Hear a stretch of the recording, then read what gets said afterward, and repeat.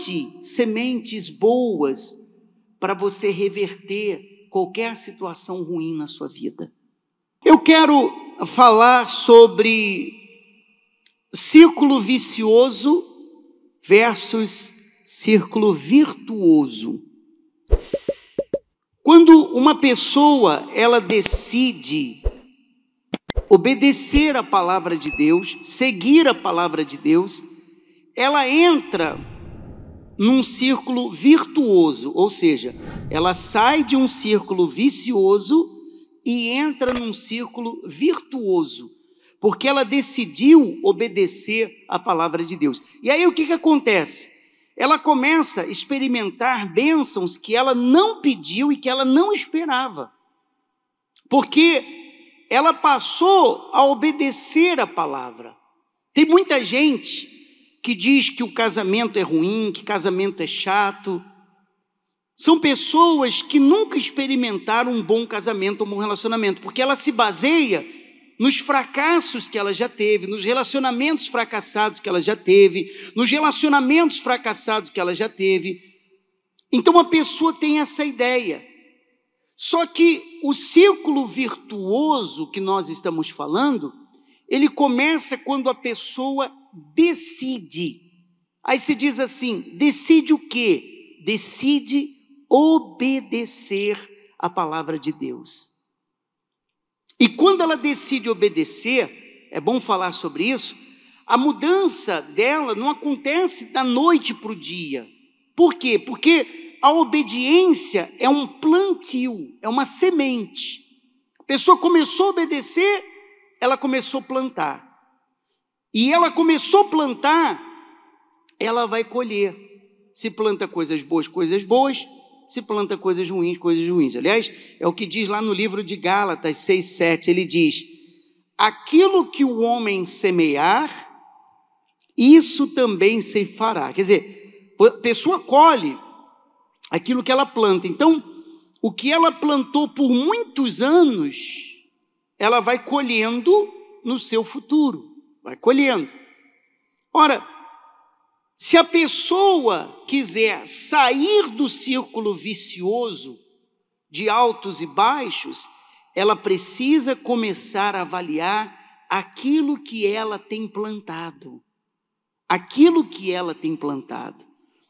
E, e é importante você entender que essa colheita, seja na sua vida espiritual, seja na sua vida amorosa, é, nós estamos falando de plantar em relação a uma palavra de Deus, porque abençoa a sua vida em tudo, não só a, sentimentalmente. Exatamente. E assim, é importante a gente ressaltar que a gente. Isso é uma verdade. A palavra nos ensina que aquilo que a gente planta, a gente colhe. E a gente não está levantando essa questão para ficar buscando, ai, eu plantei, então eu sofrendo porque eu plantei, para ficar é, se colocando para baixo, se martirizando, achando que é uma pessoa ruim, que não presta, que isso, que aquilo. Não. Aquilo tudo que a gente fez de errado e que realmente a gente vai colher, não tem jeito, toda ação tem uma reação. Então, a gente tem que aprender com os erros e não querer errar mais. O, momento em que a gente decide obedecer a Deus, o momento que a gente decide fazer a vontade de Deus, a gente começou a plantar o que vem dele e a gente vai colher. Vai ter um tempo para isso? Vai ter um tempo para isso, sem dúvida alguma, mas não importa mais o que foi até aqui. O que a gente já plantou de bom até aqui, Ótimo, a gente vai seguir e vai colher. O que a gente plantou de ruim até aqui, a gente vai colher o que tiver que colher. Mas a, a verdade é que no momento dessa decisão de fazer diferente, de honrar a Deus, tudo se faz novo. Começa o novo ciclo. Ainda que eu não esteja vendo o resultado hoje, ainda que eu já comecei já decidi, já estou nesse ciclo virtuoso, mas eu ainda não vi os frutos disso. Se eu permanecer, se eu me mantiver, então eu vou ver. E isso é que vale a pena, isso é que faz a diferença. O que passou serve como experiência. O que conta de agora em diante. E um detalhe que eu quero colocar aqui, que algumas pessoas, elas acabam se cansando de plantar porque ela não vê o resultado que ela espera, né? E ela acaba desistindo. Ela vinha plantando coisas boas, esperando colher coisas boas. Aí ela viu que não veio resultado nenhum, ela disse: "Vou deixar de plantar". Olha só o que diz Gálatas ainda, capítulo 6, versículo 9. E não nos cansemos de fazer o bem, porque ao seu tempo ceifaremos. Quer dizer, tem um tempo para colher. Tem um tempo para a pessoa colher. Ao seu tempo ceifaremos, se não houvermos desfalecido. Então, a palavra já avisa: se a pessoa não desfalecer, não desanimar, não desistir, ela vai colher no seu tempo. Ela vai colher no seu tempo. Então, todos os dias, nós temos que estar plantando aquilo que queremos colher. A pessoa tem que plantar aquilo que ela quer colher. Então, muita gente cria expectativa e ela espera colher aquilo que ela não tem plantado, e por isso que muita gente se decepciona. Ela fica cansada, ela fica desanimada, é aquela pessoa que quer colher muito plantando pouco, como nós estamos falando aqui.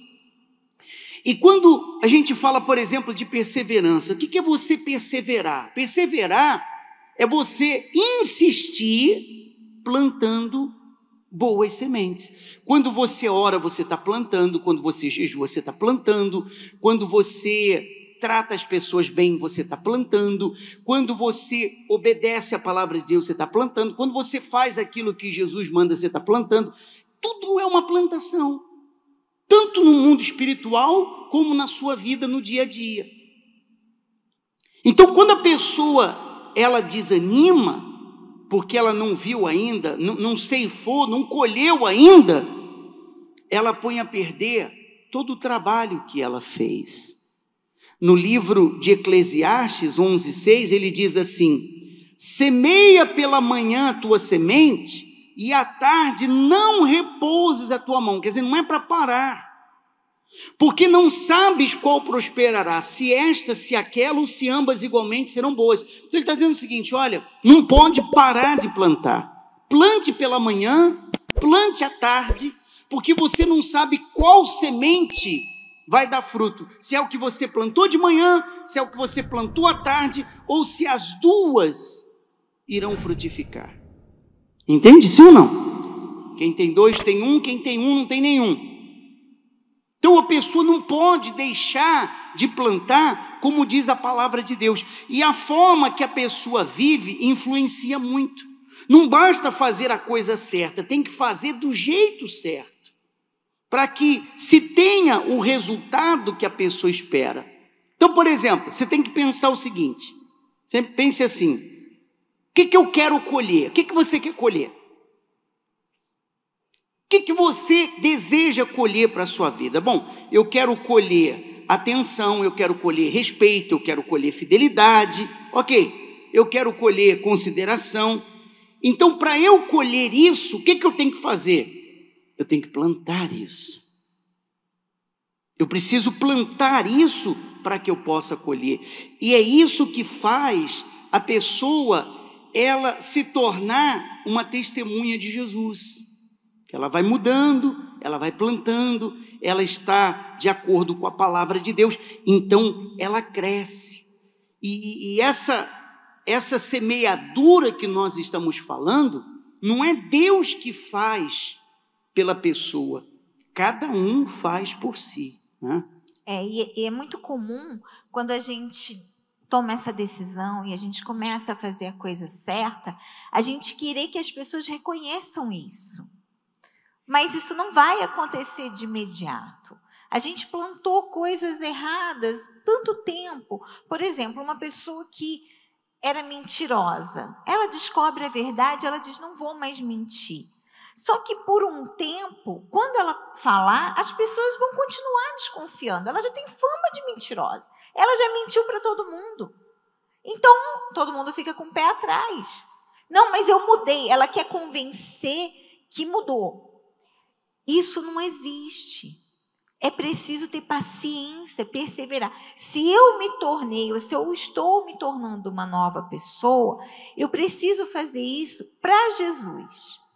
Ele sabe, ele conhece, ele entende, ele sonda o meu íntimo. Se a outra pessoa ainda não reconhece, se a outra pessoa ainda não acredita, se eu ainda não tenho um retorno de outras pessoas, uma confiança, uma consideração, não tem problema. Isso vai vir com um tempo. Mas é muito comum as pessoas dizerem assim: não, olha, eu estou falando a verdade e, e, ninguém acredita, então vou fazer uma mentira mesmo. Eu estou fazendo o que é certo e ninguém acredita, então eu vou fazer o que é errado. Sabe, a gente faz o que é certo, a gente obedece a Deus, primeiramente pela nossa comunhão com Ele, pela nossa intimidade com Ele. E se a gente fizer isso por Ele e para Ele, a gente não vai se cansar. A gente não vai desfalecer como a palavra nos adverte. A gente não vai ficar pelo caminho, a gente não vai ficar dando tanta importância se a outra pessoa, as outras pessoas estão reconhecendo ou não. A gente nem vai dar tanta importância se a gente já está colhendo aquilo que a gente gostaria ou não. Porque o que mais importa é a gente estar em comunhão com Deus. Então, se a gente tem esse foco, a gente persevera a gente permanece até a colheita chegar com tranquilidade. É, sabe quando a gente tem uma coisa muito boa para acontecer? Vai acontecer daqui uns dias ou daqui umas horas e a gente quer que o tempo passe rápido para chegar logo? Se a gente ficar olhando no relógio toda hora, ai, tem que chegar, tem que chegar, tem que chegar. Parece que passou uma hora e passou quanto? Cinco minutos. Ai, meu Deus. Que tristeza, que agonia, que ansiedade. É a mesma coisa quando a gente está fazendo algo pensando naquilo que vai acontecer. Eu vou falar a verdade e todo mundo vai ver. Não viu? Ah, como assim? Isso faz mal, traz ansiedade, desânimo.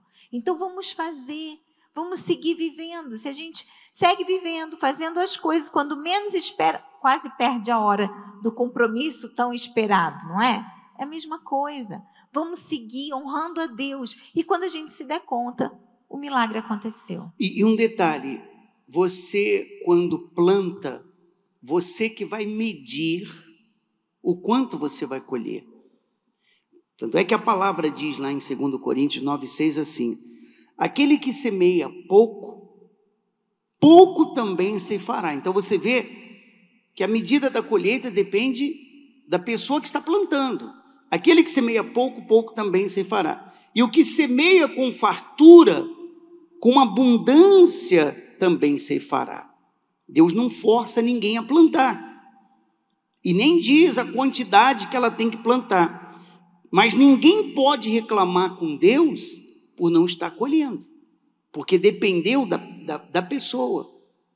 E uma outra coisa, a colheita, ela não é automática, ela precisa de tempo. Precisa de tempo. Não é plantar hoje e amanhã a pessoa já querer ver o resultado na sua vida. Não funciona assim a plantação. Entende sim ou não, pessoal? E trazendo isso para os solteiros, os solteiros precisam a aprender a plantar as sementes certas para encontrar alguém e vencer no amor a semente certa. Que às vezes a pessoa só colhe coisas erradas porque ela não planta a semente certa. Você quer ver uma das coisas que o solteiro deve ter? Paciência. Aí você diz, mais ainda, Bispo Márcio, mais do que eu já tenho tido. Pois é, mas quando se fala de plantar, como não é automática a colheita, principalmente na vida amorosa, exige paciência. Eu sei que ninguém gosta de esperar, eu sei que as pessoas pagam mais para não esperar, mas é o que diz a palavra.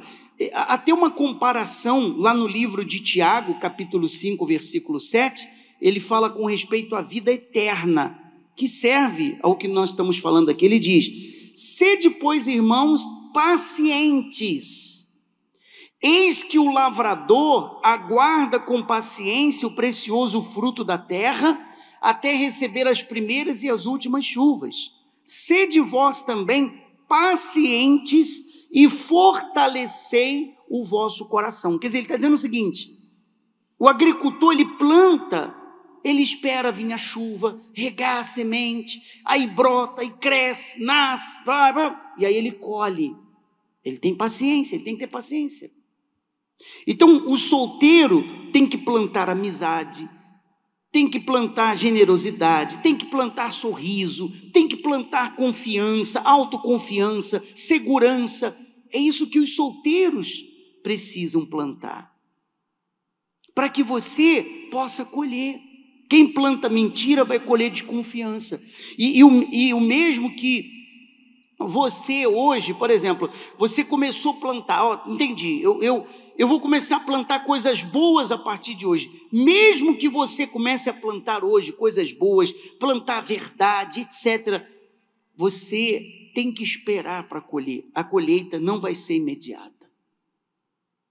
Então você diz assim: Poxa, eu estou na fé há algum tempo, eu estou buscando a Deus, servindo Jesus. Os meus familiares não reconhecem a minha mudança, as pessoas próximas a mim não reconhecem a minha mudança.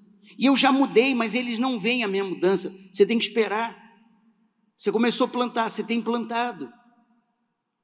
O resultado não vem rápido como você pensa ou como você imagina, mas plante sementes boas para você reverter qualquer situação ruim na sua vida.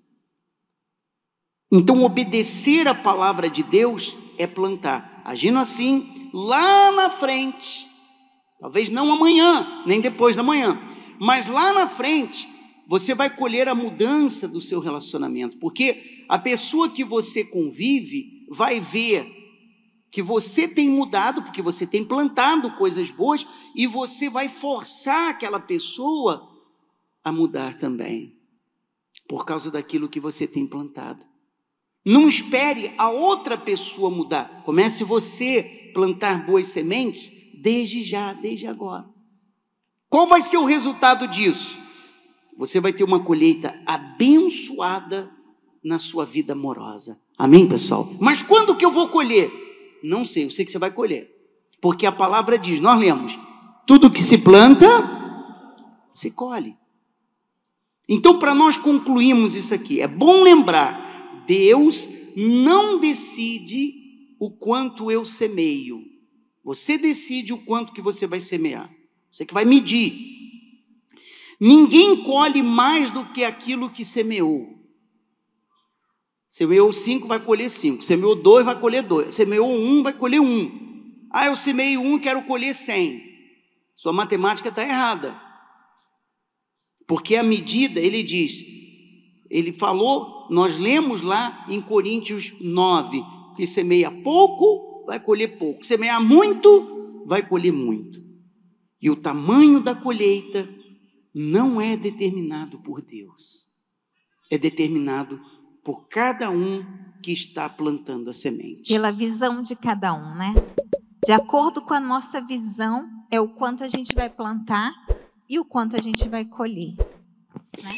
E essa visão é o que você deve aplicar na sua vida amorosa, na sua vida espiritual. Vou plantar, vou obedecer, para que o resultado na minha vida e a colheita que eu quero, ela aconteça no nome de Jesus. Amém?